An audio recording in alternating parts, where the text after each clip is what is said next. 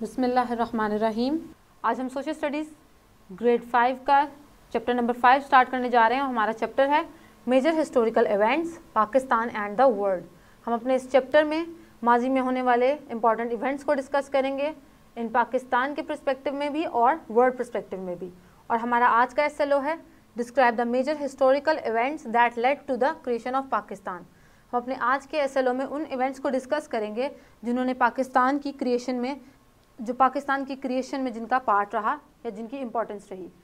यूँ तो हमारे पास बहुत सारे इवेंट्स हैं तो हम अपने इस इवेंट्स को, इन तमाम इवेंट्स को स्टेप बाय स्टेप कवर करेंगे। आज के हम देखते हैं कौन सा हमारे पास सबसे पहला इवेंट है।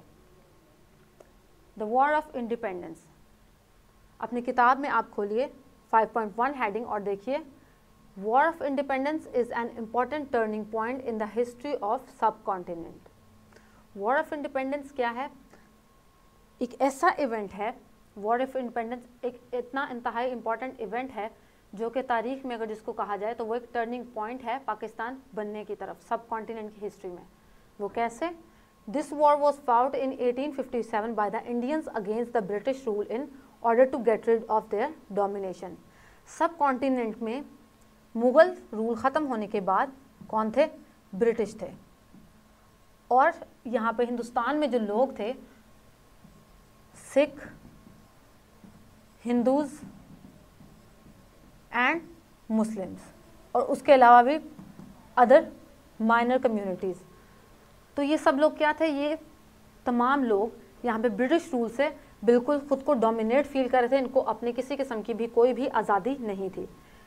तो इस आज़ादी को हासिल करने के लिए 1857 की जंग लड़ी गई। That is why it is called the war of independence it is also known as Indian mutiny of eighteen और नाइनटीन सॉरी यहाँ पे आप अपनी किताब में करेक्ट कर लें it is eighteen fifty seven so it is also known as Indian mutiny eighteen fifty seven it was an extreme struggle made by the Indians but they fail due to the certain reasons including mutual jealousy and lack of central leadership ये war of independence क्या थी? Indians की एक ऐसी struggle थी, जो कि उन्होंने अपने आज़ादी को हासिल करने के लिए लड़ी, लेकिन ये फेल हुई। ये जो इंडिपेंडेंस के लिए जो लड़ी जाने वाली जंग थी, वो नाकाम हुई। क्यों? क्योंकि इसमें कुछ लोगों के अपने पर्सनल बेनिफिट्स थे which include the mutual jealousy and lack of central leadership यानी कि जो वहाँ पे मुख्तलिफ़ किस्म के मजाहब के लोग रह रहे थे, हिंदुस्तान में सिख, हिंदू, मुस्लिम, इनकी आपस में कोई कोलेबोरेशन नहीं थी, कोई सेंट्रल लीडरशिप नहीं थी इनके पास, यानी कि कोई एक सेंट्रल पर्सन नहीं था, एक फोकल पर्सन इनके पास नहीं था, जो कि इनको लीड करता, इनको आज़ादी की तरफ़ लेकर जाता। तो ऐसे में इनकी जो जेलसी थी, इनकी जो आपस में इख्तलाफात थे, वो किस चीज़ की वजह बने? इस वॉर के फेलियर की। The main event which became the immediate cause of war was the refusal of soldiers to use the new gunpowder cartridges for the Enfield rifle in February 1857 अब वॉर ऑफ़ इंडिपेंडेंस जो कि हिंदुस्तान में रहने वाले लोगों ने Britishers के ख़िलाफ़ लड़ी, उसके पीछे वजूहत क्या थी? एक वजह तो सबसे बड़ी ये थी कि लोगों को अपनी आज़ादी चाहिए थी। और उसके अलावा क्या चीज़ें एक मुकम्मल वजह बनी या इस इवेंट को ट्रिगर करने में जो वजह बनी वो क्या थी? इवेंट्स थे। कि यहाँ पर लोगों को जो सोल्जर्स यहाँ पर हिंदू सोल्जर्स या मुस्लिम सोल्जर्स थे, उनको क्या कहा गया? उनको गन पाउडर यूज़ करने का कहा गया और इस वजह से वो लोग इस चीज़ के ख़िलाफ़ थे। और वो क्यों ख़िलाफ़ थे?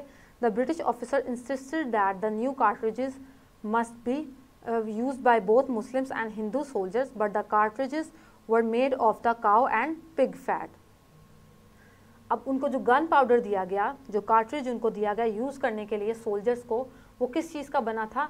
काउस का और जो पिग फैट था काउ फैट और पिग फैट को यूज़ करके गन पाउडर बनाया गया और ब्रिटिशर्स ने, मुस्लिम्स और इंडियंस को हिंदूज़ को इंसिस्ट किया कि वो इस कार्ट्रिज को यूज़ करें।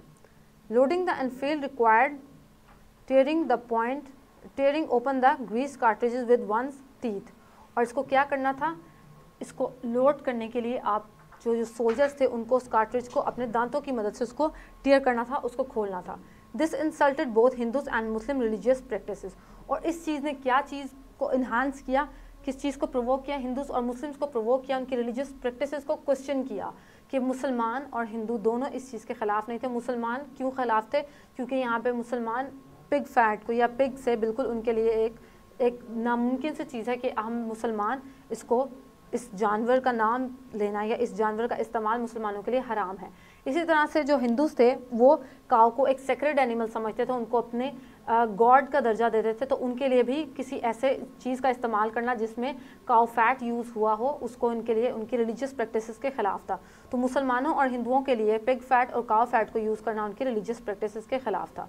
The other cause of the war were political social economic military and religious reservations और ये तो एक बहुत बड़ा, एक रिलीजियस इशू था। लेकिन उसके अलावा क्या कॉजेज़ बनी? वॉर ऑफ़ इंडिपेंडेंस की कुछ सोशल कॉजेज़ थी, कुछ इकोनॉमिक कॉजेज़ थी, कुछ मिलिट्री कॉजेज़ और कुछ रिलीजियस कॉजेज़ थी। तो चले आए, आप उनकी कॉजेज़ को भी हम लोग डिटेल में देखते हैं। Economic causes the most important cause of popular discontent was a British policy of economically exploiting India. That hurt all the sections of society. सबसे पहले क्या कॉज थी? इकोनॉमिक कॉज थी। इकोनॉमिक कॉज कैसे थी कि इकोनॉमिक कॉज ने मुसलमानों को और हिंदुओं को प्रवोक किया कि वो अपनी आज़ादी के लिए जंग लड़े। और इकोनॉमिक कॉज किस तरह से? कि जितने भी वहाँ पे मेजर ऑफ़िस थे C S S C S P officers थे सी एस एस ऑफिसर्स थे, तमाम ये सेक्शंस और मेजर जॉब्स किन को दी जा रही थी? ब्रिटिशर्स को। तमाम मेजर इंस्टीट्यूशंस को कौन होल्ड कर रहा था? ब्रिटिशर्स और मुसलमानों को और हिंदुओं को किसी किस्म की जॉब्स और किसी किस्म की इकोनॉमिक एक्टिविटीज़ में पार्ट लेने नहीं दिया जा रहा था, जिसकी वजह से उन्होंने अपने हक के लिए ये जंग लड़ी। The political causes were the British policy of territorial capture led to the displacement of a large number of rulers and chiefs जब यहाँ पे ब्रिटिशर्स आए तो उन्होंने सबसे पहले क्या किया, एक बहुत बड़े एरिया को कैप्चर किया और यहाँ पे अपनी पॉलिसीज़ राइज करवाई और यहाँ पे जो लीडर्स को डिस्प्लेस किया, यहाँ के रूलर्स को हटाकर अपने रूलर्स को लेकर आए। द कैप्चर्स और Awadh on ground of misgovernment was greatly resented the nawabs of Awadh had always been loyal to the British the capture was widely seen as the blatant act of backstabbing by British उस वक्त जो अवाद का जो area था, जिसे आप उर्दू में उर्द भी कहते हैं, उस एरिया के जो नवाब थे, वो हमेशा से ब्रिटिशर्स के साथ लॉयल रहे। लेकिन ब्रिटिशर्स ने एंड पे उनके साथ क्या किया कि जब उन्होंने 1857 की वॉर के बाद यहाँ पे पूरा होल सब कॉन्टिनेंट का संभाला तो उन्होंने उनको भी बैक स्टैप किया उनके साथ गद्दारी की और उनको भी उनकी जगहों से हटा दिया और उनके एरियाज़ को भी कैप्चर कर लिया the next is social cause the social reforms introduce by the British were looked upon with suspicion by the conservative sections of Indian society. Reforms such as abolition of sati, legalization of widow remarriage and extension of western education to women were looked upon as example of interference in social customs of the country. Britishers ने यहाँ पे हुकूमत संभालने के बाद Indians के social customs को भी चेंज करने की कोशिश की हिंदूस की कुछ रवायात थी, जिनमें सती एक रिचुअल था उनका, यानी कि कोई औरत के अगर शोहर की डेथ हो जाती है तो उस औरत को भी उसके शोहर के साथ ही जला दिया जाता था उसके अलावा वहाँ पर किसी भी विडो की दोबारा शादी मना थी। तो ऐसे में ब्रिटिश गवर्नमेंट ने इन रूल्स को भी, ऐसे रूल्स, ऐसी रिफॉर्म्स इंट्रोड्यूस करवाई जो कि इनके रिचुअल्स के ख़िलाफ़ थी और उसके अलावा इन्होंने वेस्टर्न एजुकेशन को प्रमोट किया और वेस्टर्न एजुकेशन सिर्फ़ मर्दों के लिए नहीं, बल्कि औरतों के लिए भी प्रमोट की गई।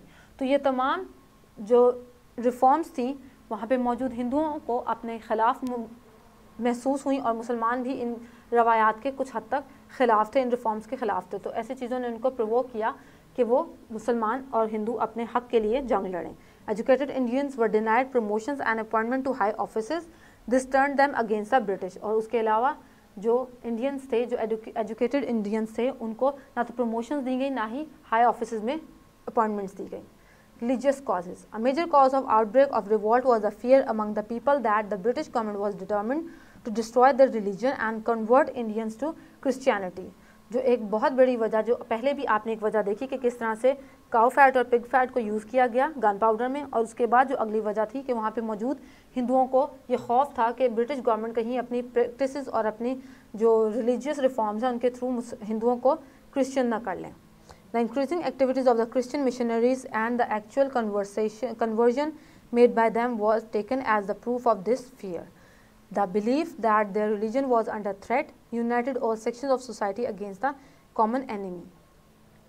Christian missionaries जो कि बहुत सरगर्म थे उस वक्त उनकी एक्टिविटीज़ जो सरगर्म एक्टिविटीज़ थी कि वो किस तरह से अपनी रिलीजियस प्रैक्टिसेस को और रिफॉर्म्स को इंट्रोड्यूस करवा रहे थे और उनकी प्रीचिंग कर रहे थे उनकी तबलीग कर रहे थे तो ऐसे में इंडियंस को इंडिया में मौजूद मुसलमानों और हिंदू दोनों को खौफ था कि कहीं उनका रिलीजन उनको बदलने पे मजबूर ना किया जाए तो इस खौफ ने उन सबको अपने एक यक, यकजा होने पर मजबूर किया और अपने कॉमन एनिमी के ख़िलाफ़ जंग लड़ने की, आज़ादी की जंग लड़ने की तरफ़ उकसाया। So this was the war of independence एक मेजर इवेंट था। इसलिए हमने आज इसको डिटेल में डिस्कस किया। इसके कॉजेज़ देखे, इसके तमाम वजूहत देखी और इसके फेलियर को भी देखा कि किस तरह से ये एक इंडिपेंडेंस की वॉर फेल हुई। इसके बाद कुछ और इवेंट्स हैं, वो हम आहिस्ता आहिस्ता नेक्स्ट लेक्चर में कवर करेंगे। अब आप अपनी टेक्स्ट बुक खोलिए और अपने क्वेश्चंस को देखिए पेज नंबर 59 पे अपना पहले ब्रीफ क्वेश्चंस देखें क्वेश्चन नंबर टू है what was the major cause of revolt against the British government and why did sir Syed Ahmad Khan propose two nation theory two nation three अभी हमने देखी नहीं है तो इसलिए आप इस क्वेश्चन को अभी छोड़ दीजिए। तो आप क्वेश्चन नंबर टू देखें और अपने कॉम्प्रिहेंसिव आंसर्स में से what were the causes of war of independence ये अपने लॉन्ग क्वेश्चन में भी क्वेश्चन नंबर टू देखें और इसका आंसर अपनी नोटबुक में लिखें। इसके बाद कुछ होमवर्क हमने आपके रिसोर्स पैक से लिए हैं। तो रिसोर्स पैक में कुछ क्वेश्चन हैं आपके पास। What do you know the war of independence about the war of independence when this war was fought what is the other name of war war of independence what was the main event responsible for this the economic causes the political causes social and religious causes of the war of independence तो आप अपने तमाम homework को complete करके अपने school teacher को submit करवाएँ। See you in the next lecture इनशाला अल्लाह हाफिज़।